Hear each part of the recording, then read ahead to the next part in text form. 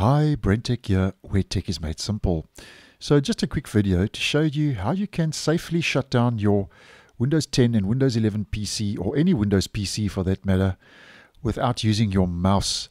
Now this entails you to use your keyboard, and this is a safe way to shut down your PC, as an example, if your mouse becomes unresponsive or is broken, and you want to shut down Windows safely without having to rely on hard shutting down or hard resetting your computer by holding in the power button, which sometimes can cause issues.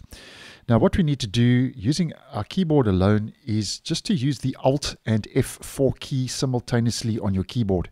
Now, if you have another app or browser or software program open on your desktop, using Alt and F4 can actually close that program first, and then you get access to your desktop, and then using Alt and F4 again, you get the shutdown dialog in menu, and then without using your mouse, you can actually scroll using the up and down arrow keys on your keyboard.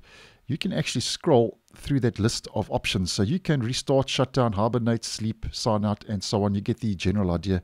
You can use any of those options, but um, especially if you want to shut down or restart your PC, and your mouse has become unresponsive, that's the safe way to do it on Windows without using your mouse, and that's using the Alt and F4 key on your keyboard. So thanks for watching, and I'll see you in the next one.